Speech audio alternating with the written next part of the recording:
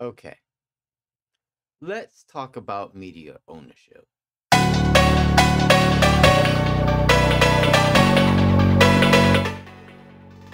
So, I've had a lot of people contact me over the last couple of weeks because people are freaking out about media ownership.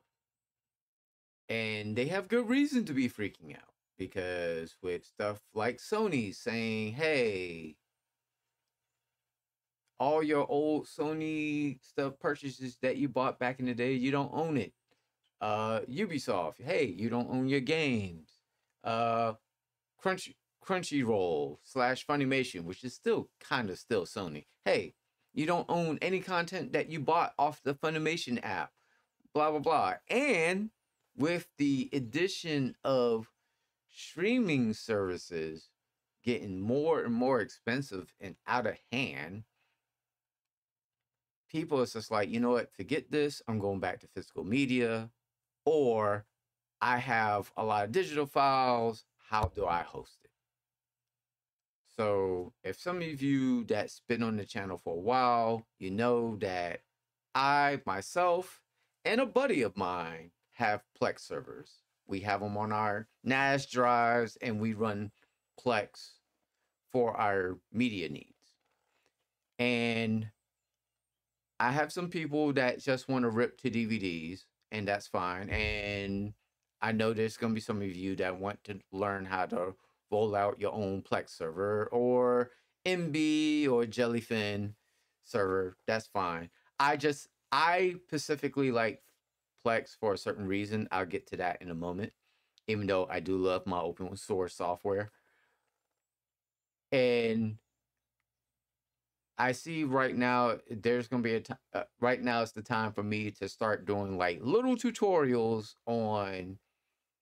Hey, this is how you rip your media for your media server, or hey, this is how you take media files and burn them to DVDs.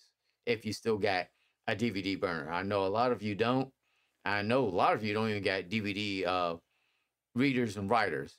I'm gonna help uh, your boy's about to help you out because yo, the local Walmart where I'm at, well, not this county, but the county over, it was selling like DVD writers for a laptop for like 12 bucks. It's crazy.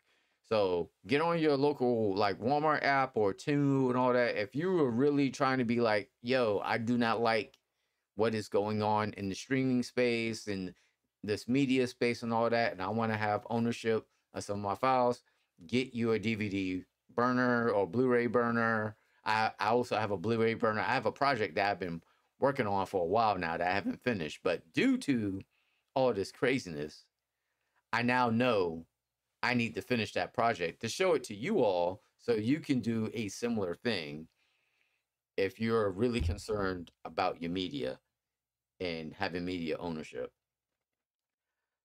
So the reason why I specifically like Plex, even though I am tempted to play around with Jellyfin, uh, Jellyfin's only a little bit more technical, only because you normally for a NAS server you have to put it in a Docker container, and I've never done that, so it would be a learning experience for me.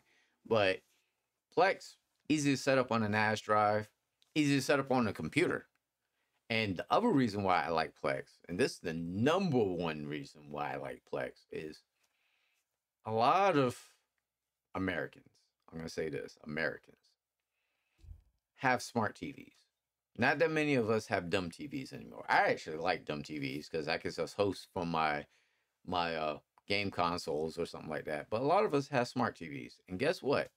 Plex is an installable app on your smart TV. Jellyfin is not on all smart TVs, but you can still do DNLA cast to them. And if you don't understand what I just said, digital license. Anyways, if you don't understand what I will teach you all this later in some tutorials that I'm gonna start doing because I I didn't expect all this craziness to happen with the media stuff. You know, like one occasion they they knew they normally say death come in threes. Well, wow, it came in threes. Cause first we had the Sony announce or or the Ubisoft announcement, wherever which one you uh take a hold. Then then after that Funimation and now the craziness with the streaming services and raising their prices and all that stuff. So there's a lot of people out there. There's a lot of you out there that are like, hey, I pay for these services month to month or yearly and or I was a, a fan of Funimation for a while and I bought a, a whole bunch of stuff off of that app or whatever. And now you feel like you've been done a disservice because they are telling you you don't own anything. And this is the world that we're currently living. I mean, I hate to say it was true. We're we're subscription based nation where if you want something, you pay a monthly subscription to get whatever, whether it's music, movies, is what it is. Subscription based service.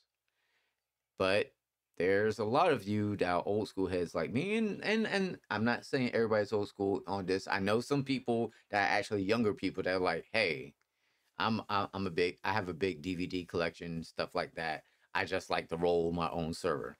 So, yeah, I will definitely roll out some tutorials and all that about how to run a media server and give options on how to do it affordably and how to upgrade your drives and all that because oh my god i did not expect this I didn't expect a whole bunch of people contacting me. It was like, hey man, we know you know about this media stuff. What we need to do. I I'm like, wow, I did not really like I saw stuff coming, but I figured it would be like more like techie guys like me being more like, okay, I got my server and all that. But I I've gotten a lot of people like wanting to learn, like, hey, how you do this I need to know.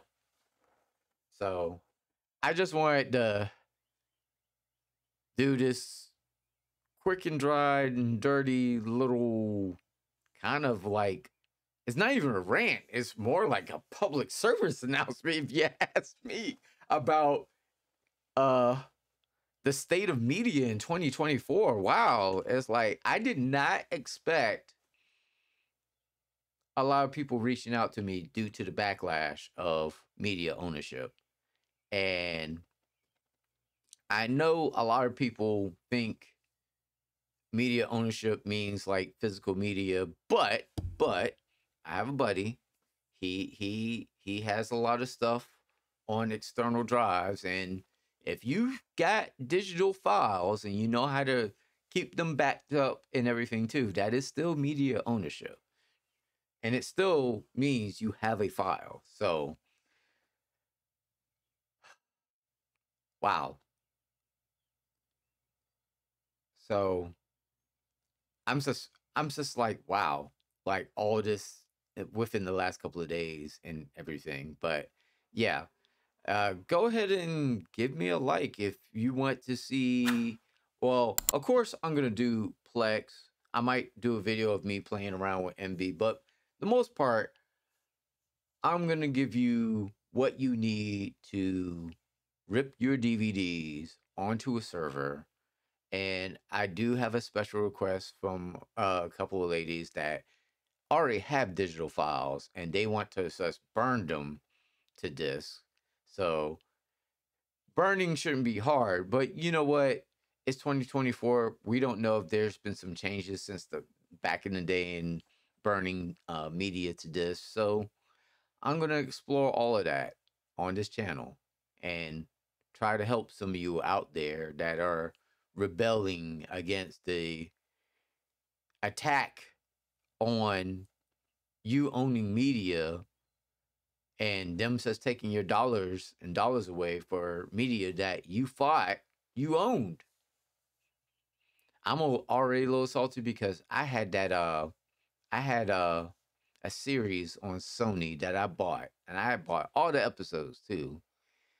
And I had bought Terminator Salvation back in the day. The and I already know I'm SOL out of those. Not unless I find it somewhere online or somebody has it that's watching this. If you have that backed up and you're watching this, hit your boy up because I like to get copies of it. All right, cool. The uh, oh, I didn't finish the other reason why I like Plex, other than before I, I wrap this up. The other reason why I like Plex is the fact that not only is easily accessible on a lot of smart TVs, but but it is shareable with your friends. So, like I said, I have a Plex server. I have a good college buddy of mine that has a Plex server. I can go on his server, watch what he has. He can go on my server and watch what I have. It, I like the, the the idea of hey, sharing is caring. I have my taste, he has his taste, but you know, if I'm in that mood of hey, I want to watch something different, I can go on his server and be like, oh, he has something I don't have. Let me watch that. And he could do the same with me. So yeah, I really like that aspect of uh Plex too. You still kind of have that sharing community thing.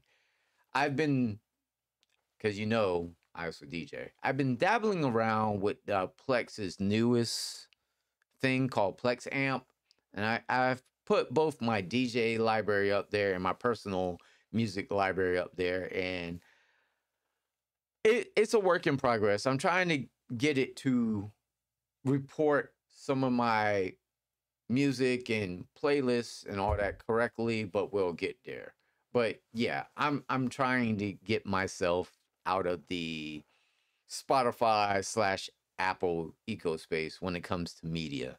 Cause now seeing all this, even though I've uploaded terabytes, and I mean terabytes, to my Apple Music, I'm worried that with all this that's going on, even though supposedly I own all this music, I am worried that it might not happen today, but sometime down the line, they might say, hey, you know, all that music you uploaded, you don't own that no more, even though I'm the one that uploaded the music, but we don't know. This is weird times when it comes to media. So there you go. All right, guys. If you like this video, go ahead and give it a like. Support your boy. Link is in bio. Until next time, guys. Peace, love, my friends.